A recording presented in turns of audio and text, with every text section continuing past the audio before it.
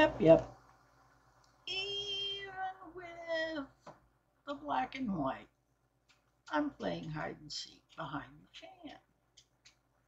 I got a little crazy. Anyway, right beside me, wait a minute, which side am I going to put it on? Let's go this way. There's more space because I'm already sitting way over here. Right beside me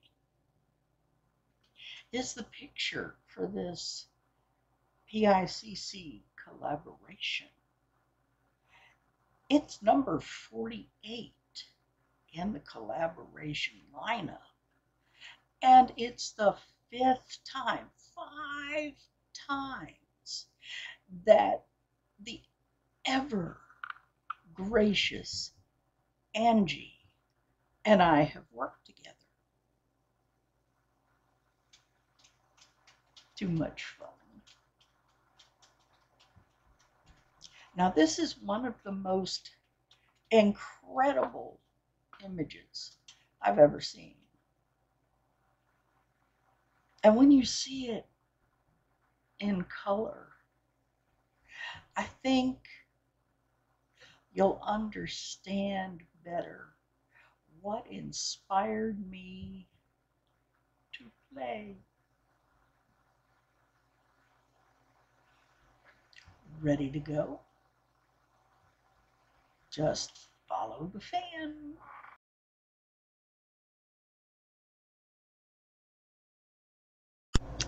Hello. Yes, this is the piece after the intro. Yes, that's what this is.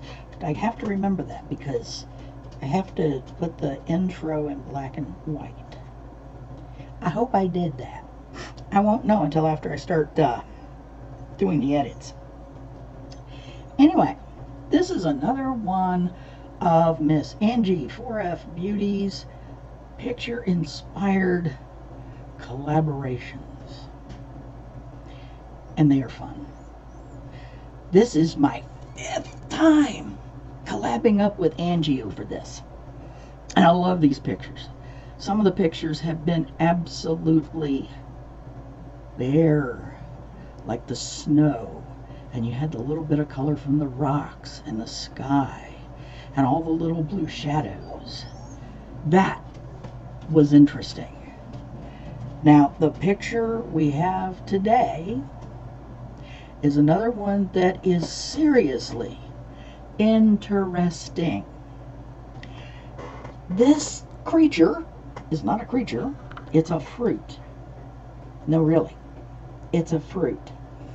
Technically, if you think about it, it's a pine cone even though it's a fruit with pulp. The seeds are floating around in the pulp. The seeds are in that yellow and orange part. This is from a tropical pine tree that's called the screw pine, the tree, Tahitian, Tahiti, I can't talk today, Tahitian screw pine thatched screw pine, and a couple other things. It's very big in Southeast Asian cooking and in Hawaii. A lot of times you'll see some of these, the pieces, if you see the little pieces to the side, a lot of times you'll see pieces from this thing in a lei. And they're kind of tough even though they do make kind of a custard fruit out of um, fruit custard out of it. I'll get the words in the right order later. How's that? Mm. Anyway, gorgeous thing. Absolutely gorgeous thing. It gets used in a lot of cooking in um, Pacific Range and in a small part of Australia and don't be alarmed. My dogs might go off. The puppies are outside. And, uh... Hello, peeps. Let me tell you, the dogs not only went off, they stayed going off. So, I'm trying to do this as a voiceover. We will see how this goes. Yes, I will still be flapping my gums in the pictures. However, the words I'm saying are not going to match exactly. Aren't you thrilled? If you can read lips, good luck to you on that. Anyway, started off with my white base on and was looking at that delightful piece of fruit called the Hala fruit and trying to decide exactly how I was going to do the eyeshadow. I decided to look for a white to start with on the inner corner of the eye so that I captured that core that's in the picture. Now, the picture has a little bit of very tiny little bit of fresh green where the um, where the pieces have been torn off. The pieces are called keys. And they all literally just lock together almost like pine cones do. And I just started crawling through all of my makeup while I was trying to get set up for this. And I was debating between a cream shade and a white shade. I decided ended up decided to go for the white and start there and then keep building as we went along. I mean, the picture is fascinating. Now remember, with these pictures and this challenge, we can only use the colors that are in the picture. So there's the white center, the little bit of yellow and orange in the keys, and then the green on the far end of it. But there's also a little bit of beige on the wall and the black backdrop and the blue table. There are options. You can play with it. There's plenty of options. You can use any color in the picture. You don't have to use all of them, but you can't bring anything else in. It has to be a color that's in the picture, or at least as close as you can see it, because you've got variations in the picture, how it's presented on your computer equipment, and what you actually see compared to what the other person in the challenge sees. So this is where I am starting off with my white and trying to convince people that it's a good idea.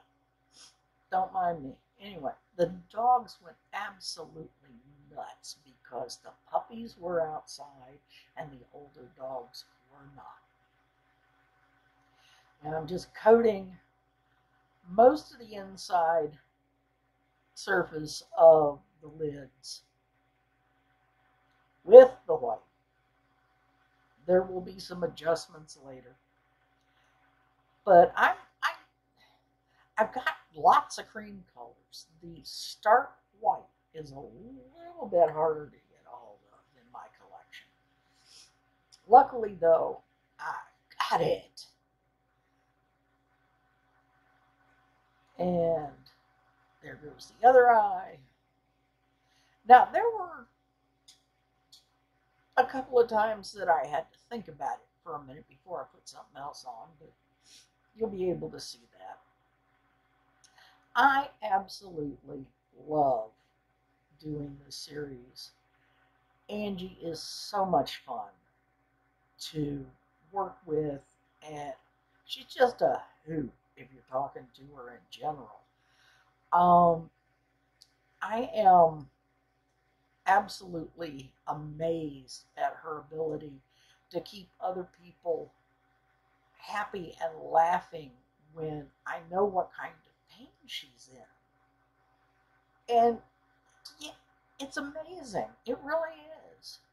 It's we've been talking long enough now that we've gotten to the point where occasionally we sign off with each other as sis.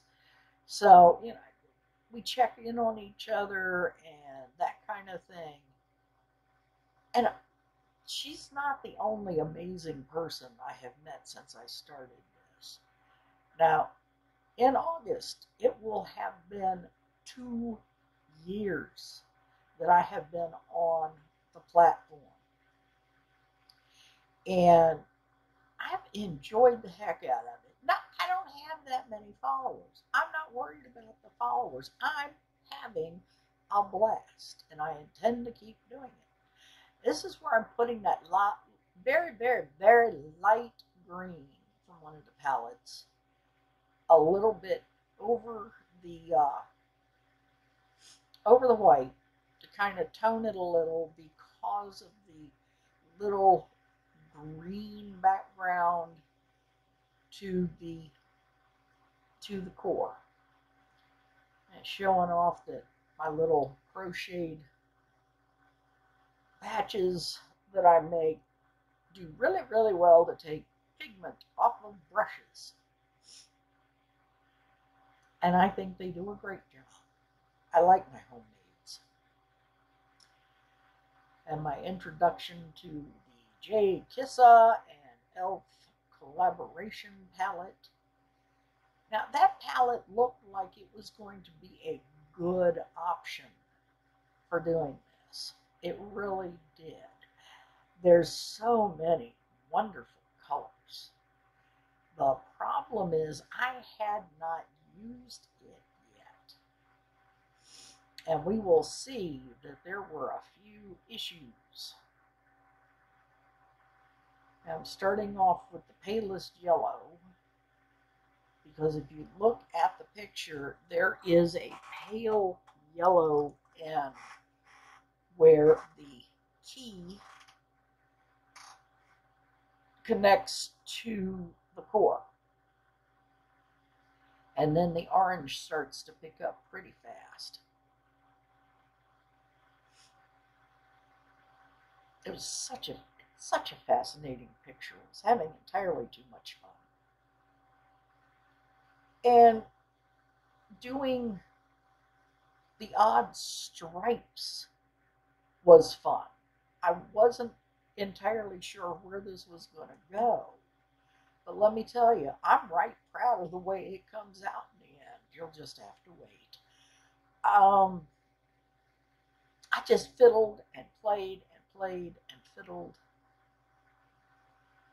and yeah, it was originally as long as most of my normal ones. I've actually speeded this up just a tad for the moving images. And I'm trying to keep up with doing a reasonable running commentary. Now, as much as I love working with Angie, there are some other people I am eventually going to like stick my little paw out and see if I can snag to also do collaborations. Now, I've been in some of the big group collaborations, like when we were saluting Paulina after she got her palette and it was her birthday, da da da, and collab yeah collaboration was born. And we it was huge. I think there was like 60 people that were collaborating on that one. And some of those people have gone on to do other um, large co- collaborations. I didn't always get in on them because i'm a college student as well as being a wife and a grandma and a mom and yeah. I'm i'm i'm a tad busy. I mean i know people who work full time are busy as heck. And this is basically what i do for a hobby doing this on um, youtube. The rest of my day is family crises or kissing boo boos or doing homework. I do a lot of homework. And some of it, since I'm starting to get into some of the more advanced classes, can be a little energy depleting and a bit daunting. So, yeah, it kind of cuts down time that I have available to be on the screen. So, I haven't done nearly the collaborations I want to do. Um, I'm getting there. Okay, I have moved on to the darker yellows and the light oranges and eventually we'll get to a dark orange. And then there's one that's kind of, of more reddy that, that I stuck on the orange because some of the keys have a slight red tint to it as well as the orange. So I was doing my best to cover the colors.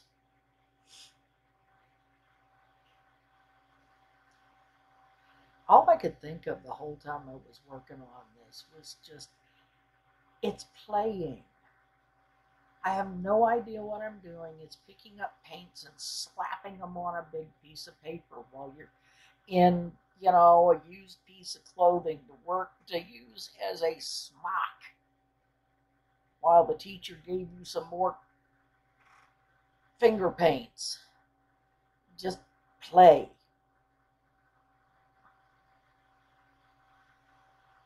Now, one thing that's going with going on with Angie that just thrills me no end. I love her voice. It is so soothing. I can sometimes just put on Cotton Pickin' Train yeah, you too. Um, I can put on one of her vids, even ones that I've seen repeatedly, and I can calm myself down while listening to her voice. Now, I'm in school for creative writing and English, even though some days I can't talk. But the creative writing side, I've been writing stories literally for years. Some of them have been small publisher published, but it's not in book form. And I don't know that anyone currently has any of the fan magazines that my stories were published in but I'm working on one now that I'm hoping to have finished by the time I graduate, which I now have all the classes I have left on the schedule. I can look at the at my entire lineup of classes I have left, which is kind of scary that they now all fit on the page it's not that it, it's not that close to being over, but it, it's it's a point where you look at it and go, there's no more to wait for later to fill out. Ay, ay, ay. Anyway, the novel that I am working on, Angie has read part of it and has discussed with me the idea of her doing the voice work for the book as an audiobook. And we have also talked once in a while a brief minute about maybe getting a Patreon um, set up so that as I complete sections of the book, Angie can read off those sections for those of you who are willing to cough up a couple bucks for the privilege of hearing the book in process. Now, my books are definitely science fiction and fantasy slammed together with a sledgehammer. it's not for everybody. It really isn't. The other thing is, I can't really ask Angie to do the reading on YouTube because there are some adult themes in the story which precludes us from putting it directly onto YouTube. They, they get picky that way. At this point, all I'm doing is, is fiddling and making sure I don't lose the yellows and the oranges in amongst themselves while trying to build up the color and blend the edges so it's not quite so stark a break between them. It's like, yeah, this is going to be editorial, but let, let's not go for sharp angles. I had entirely too much fun doing this. And I'm just yakking away. Yeah, I know, I'm still yakking away. But you have no idea what was in the original thing besides yelling at the dogs to tell them to hush. Because, literally, as soon as I'd start to say something, and you will see me occasionally in the film look up and get, look like I'm getting ready to throw things. I'm I'm promising the dogs that I'm going to take their treats and give them to the other dogs and you know, not that the dogs actually understand all of that, but they could tell I was not amused and not pleased. And they'd settle for about three seconds, and then one of the puppies would bark at something outside. So these older dogs would jump up and go, We have to save the puppies. Bark, bark, bark, bark, bark, bark. And I'm going, Guys, you're smaller than the puppies. And it's like, yeah, smaller than the puppies. The necklace I'm currently wearing is one that I designed and put together. I may show some of that may show some of that stuff when I do some wire wrap. I've got a huge piece of ametrine that I'm going to wire wrap. Yes, I know, that has nothing to do with the picture or what I'm doing on my face. But then again, right now I'm not doing anything on my face. I'm just flapping my mouth. A lot. And apparently making grand pronouncements about things that are probably not worth discussing any other time. Oh, mercy. I've, I've, I've done 18 minutes and change, and there's still time to go. Ha. Anyway, it hopefully it's not going to end up being one of my forever longer than anyone ought to ever have to put up with. But could happen. Now, the J Kissa palette. Oh, I wanted that thing so bad because it's so pretty and it's about rescuing doggies and, and that kind of thing. And, and I was just all excited. And by the time I got pretty close to where I was ready to jump off and finish the face and all that stuff. There was a problem because the orange and the green started mixing and it just muddy and I kept losing the yellow and the orange was weird. It didn't hold its place. And, you know, you'd start to blend it after piling it on you start blending and it just kind of goes poof and disappears. I was so disappointed.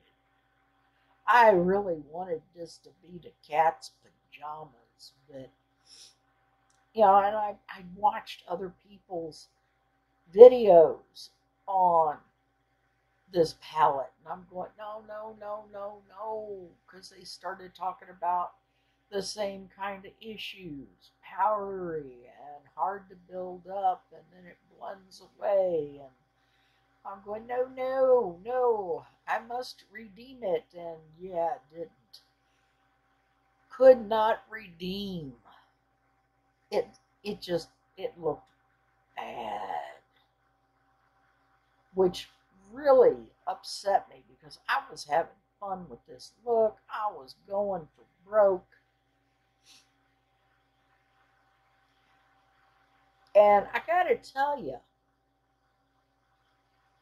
it looks like a much better green on the camera than it ended up looking on my eyes. It really turned kind of a muddy brown.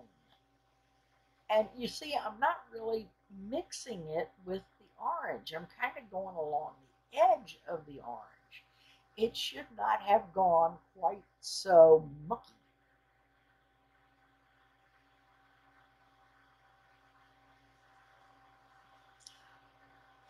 I tried. I tried. And then I tried some more. One of the things that I do is there's a really pretty pale green in one of my palettes.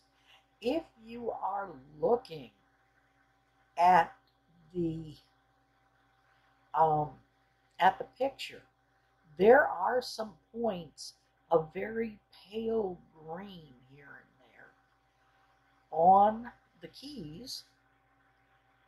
Again, that's the fruit. And the keys, you know, you, you have to look for it. It's kind of like at the transition point between orange and the darker green, there's like these little fine points of a slightly paler green. So, me being me, I took advantage of what I was seeing on my monitor and jumped up with that pale green and stuck that in a couple of places. Now, see, I keep having to put it back on. I put that orange on repeatedly. Oh, yes, and the shaking, that was the dogs. There go the dogs again, round about my table. Now, my camera normally sits up on a little flexible arm that's attached to a clamp that is also attached to my ring light, which I'm using in a white lined box as a bounce light. I've got a couple of places where I've um, shown the box, shown what we set up, and took good pictures of it and I got the idea from watching Abby Williamson. She, being a professional photographer, knows things. And she does production work at a videography studio.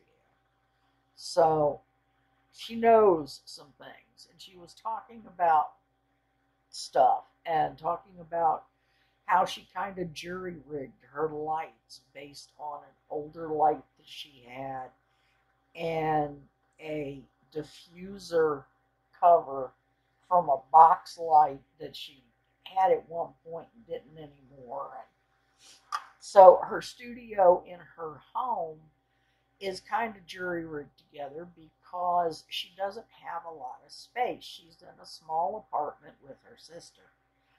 So you know, she's got to do things with that tight space in mind. So I'm doing the same kind of thing. My little quote unquote studio is set up in my bedroom because it's the only place I can put this stuff together and not have to immediately take it down and hide the makeup and stuff once I'm finished to keep my grandson out of it. He's nine years old, developmentally delayed, and he thinks it's the most fun in the world to dismantle Granny's makeup. We have to put some on while we're doing the dismantling, but yes, you must take everything apart, open all the palettes, stick all the fingers in all the palettes, maybe even the toes if we are naked feeted. Ay. I love the kid, but some days it's hard to keep up. He just moves too fast for most of us to catch anytime soon. This is one of those cases where you have to look at the child and say, Good thing you're cute. Because some of the things he has done, not even maliciously, just he thought something was pretty. We didn't manage to have it up high enough because he's growing like a beanpole. We it was up high enough two weeks ago. Uh, and the next thing we know, he's got something fragile and it's busted. And people are going, well, why didn't you put it up higher? It's like it was high enough two weeks ago. We didn't measure him today, okay? so, yeah. Granny gets chased around run around. And this is my fun time putting paints all over me. Yes, for anyone who's wondering, that crease in the top of my head had nothing to do with the fall. That's just where my CPAP face harness piece goes across the top of my head.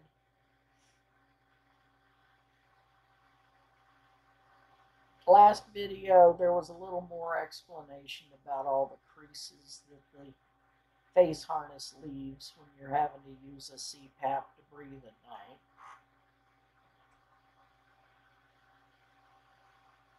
Now, at this point, I'm getting pretty close to being ready to jump off and finish everything. I'm just kind of fiddling I'm not sure if you can see that very sheer pale green that I worked in with the white on the inner third of the eyelid. But see how dark and kind of muddy looking that green got at the outside edges in the outer V? It just muddied up something awful, and I was I was just certain it was going to finish ruining everything. So you know, we will see. Now that itty bitty brush that I'm playing with is putting in that light green in a couple of places, just kind of tapping right along the edge of the dark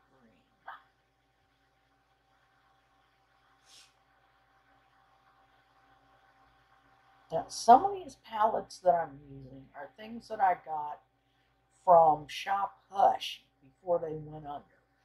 There's Bad Habit palettes and Face Candy palettes and that sort of thing.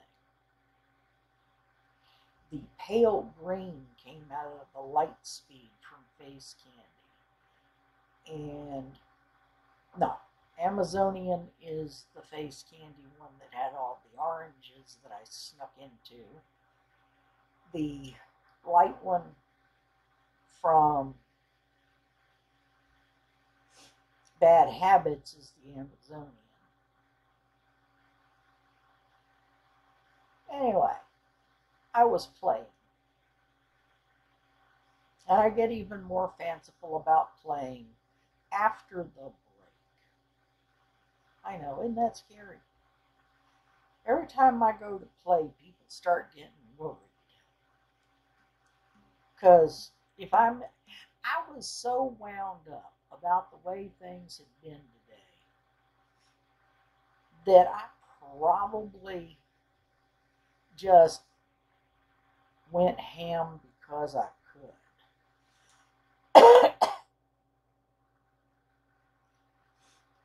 I actually went and looked at a car today. Excuse me. It's like the current car that I have is no longer reliable. And the AC don't work. And it's hot weather. I want my AC. So we started looking at all the various options.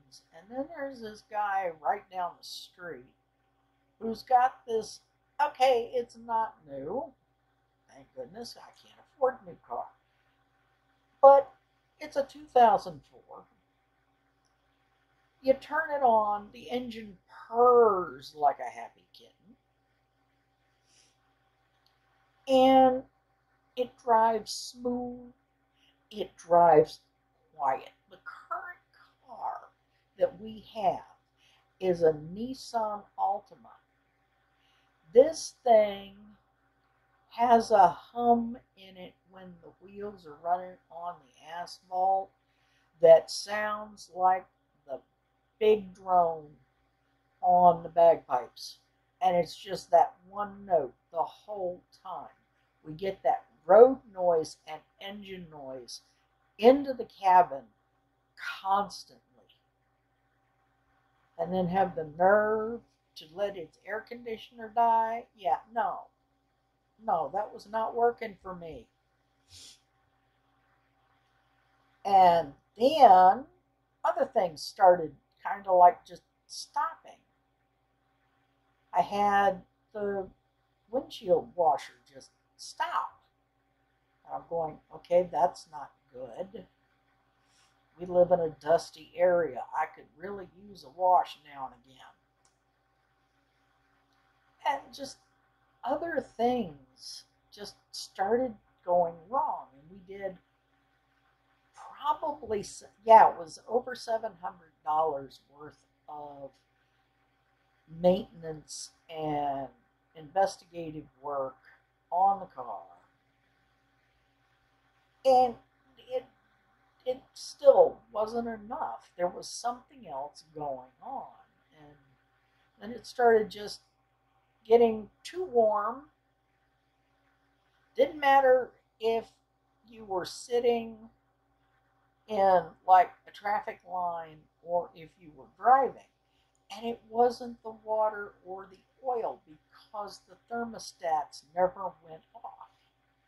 It just got too hot somewhere and would shut off. Didn't care where you were you could be in the middle of the highway, in the middle of a lane change, and it get persnickety and just shut down. We haven't been hasn't haven't had an accident because of it, but I don't want to to wait for an accident. You know, I, I I'm kind of allergic to accidents. Anyway, it looks like I'm getting ready to go boofity and run away and go do all the rest of the stuff, which means I can get off this silly microphone and get ready to put the rest of the film together. Guess what? It's time for me to run away.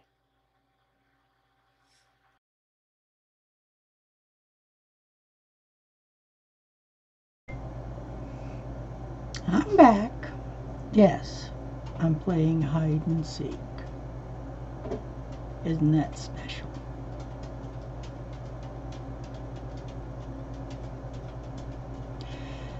Now,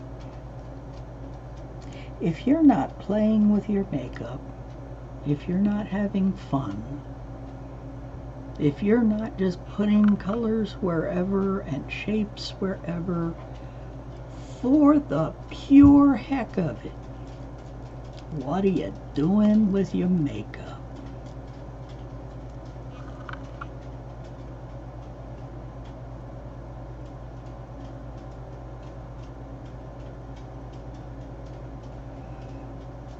Would I wear this to the grocery?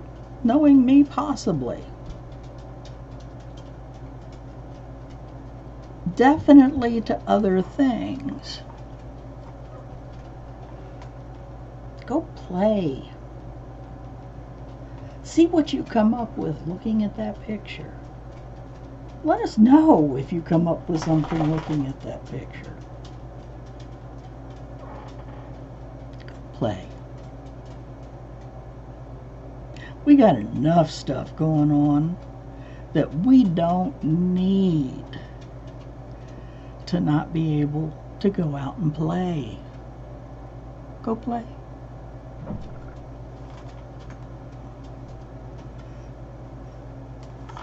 Jeez. Wouldn't you know? I meant to put these on. Be good.